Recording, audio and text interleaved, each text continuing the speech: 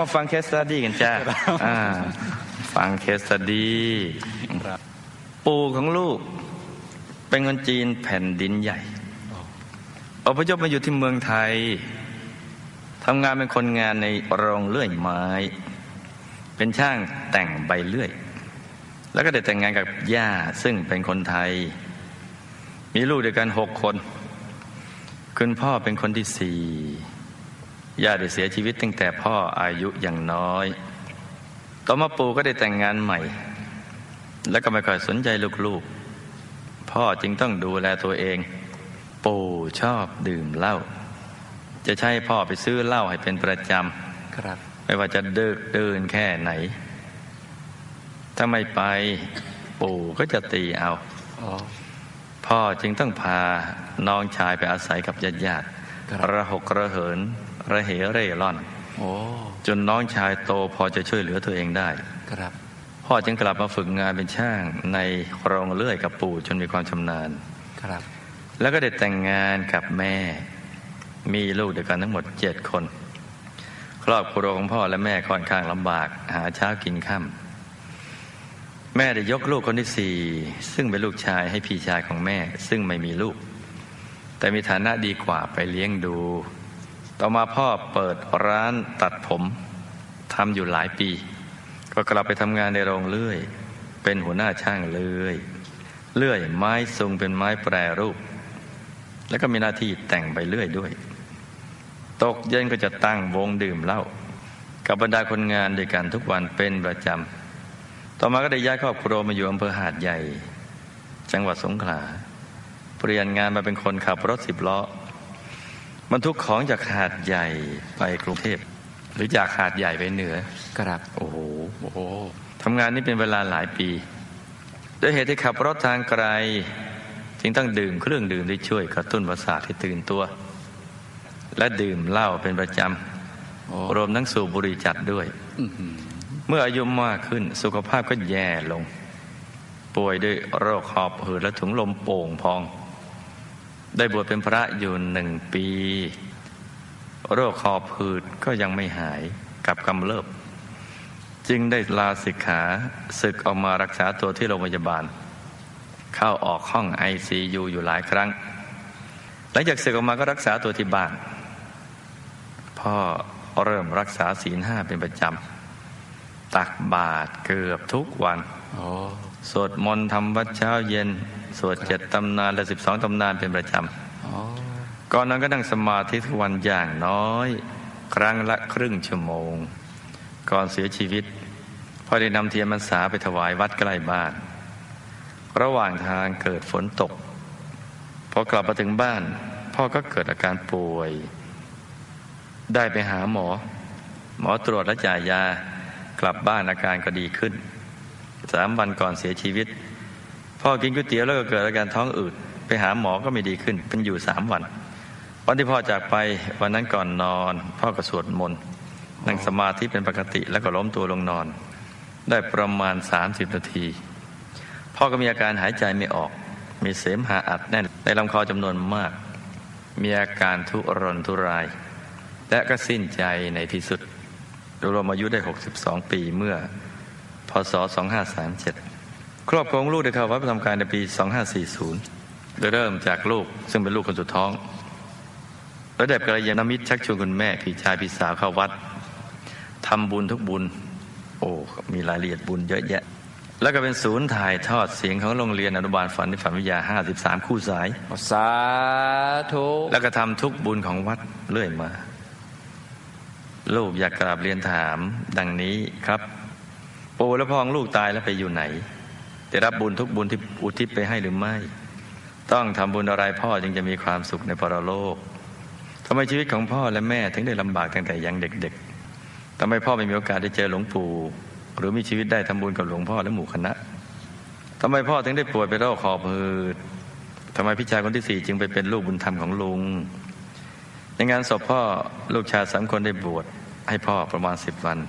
ไม่ทราบพ่อจะได้รับบุญนี้ไหมครับ โอ้ทายมาหกข้อครับ เอาลุยกันเลย ครับเอาปู่ก่อนนะ ปู่ตายแล้ว ท่านก็ไปอยู่ที่ท่านชอบ โอ้โอ้ไปเลยโอ้ในมหานรกขุมห้าครับ ทันที โอ้อย่าลืมว่ารายการนี้คือรายการ ฝันในฝันจะครับเล่าฝันให้ฟังก่อนนั่งธรรมะ มีกายใหญ่โตดำ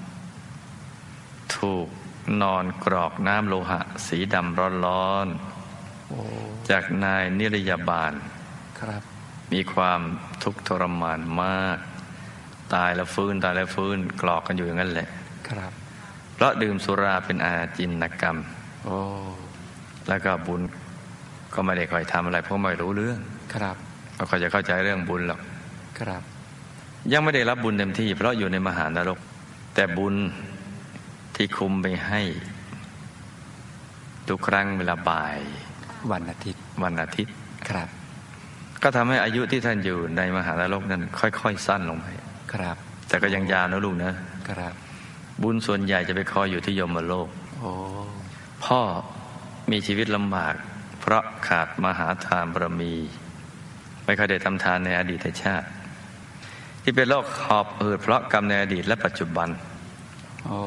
กรรมในอดีตเคยฆ่าคนโดยจับกดน้ว้าวำเรื่องก็มีอยู่ว่า เพื่อนของตัวน่ะได้ติดหนี้พนันที่ตนเองเป็นเจ้ามือโอ้จึงได้ชวนเพื่อนนักเลงช่วยกันจับมัดมือไขว้หลังโอ้แล้วก็กดน้ำครับไม่มีเจตนาให้ตายหรอก เพื่อขู่ให้มาใช้หนี้ครับทำซ้ำๆหลายครั้ง จนลูกหนี้เนี่ยเหนื่อยหอบเพราะสำลักน้ำครับแต่ก็ยังไม่ตาย แล้วก็รับปากก็จะไปหาเงินมาให้ ก็เลยให้โอกาสไปหาเงินมาใช้หนี้แต่ก็ยังหามาใช้ไม่ได้สักทีพ่อก็เลยชวนเพื่อนนักเลงชุดเดิมมารุมกันอีกโอ้ช่วยกันจับมัด แล้วก็บีบคอจนหายใจไม่ออก เลยตายกรรมปัจจุบันก็คือกินเหล้าสูบบุหรี่กินยากระตุ้นประสาทเป็นต้น สองกรรมมารวมกันเลยทำให้ทรมานมาก เหมือนคนโดนเหยียบอก บีบคอหายใจไม่ค่อยจะออกโอ้ทำให้ก่อนละโลกนะใจไม่ค่อยใส ทุกข์ทรมาน บุญในช่วงท้ายๆของชีวิต บุญก็เลยยังได้ช่องไม่เต็มที่ครับตายแล้วก็วนเวียนอยู่เจ็ดวัน เจ้าหน้าที่ยมโลกก็มารับไปพิพากษา ผลการพิพากษา ก็เห็นทั้งบุญทั้งบาป เห็นบุญทุกบุญที่ตัวทำในช่วงสุดท้ายครับ แต่บาปที่ตัวทำในอดีตชาติที่ฆ่าคนกับอาจินกรรมในปัจจุบันน่ะมีมาก โอ้จึงถูกส่งไปเกิดเป็นกุมพันธ์ครับ ต้องมาเป็นเจ้าหน้าที่ยมโลกหนึ่งปีทิพย์ต้องมาเป็นเจ้าหน้าที่เก้าเดือนโอ้พักสามเดือน โอ้ปกติก็ทำสามพักเก้าครับ หรือกลางๆก็หกพักหกครับ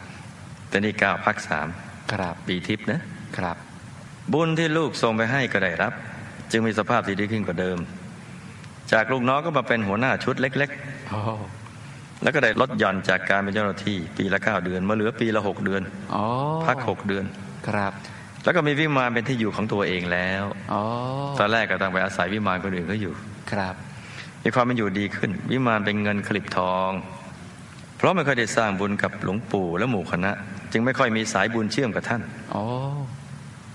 ไม่เหมือนลูกชายหญิงและแม่ เคยมีสายบุญที่ทำกับหมู่คณะ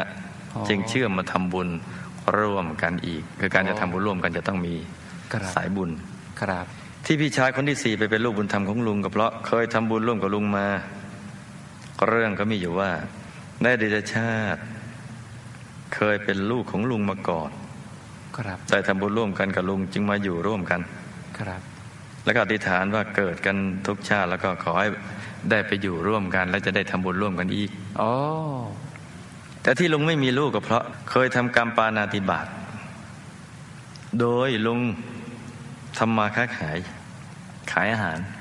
ชอบไปซื้อลูกหมูโอ้เอามาทำหมูย่างหมูหันเนี่ยอ่าขายเป็นอาชีพ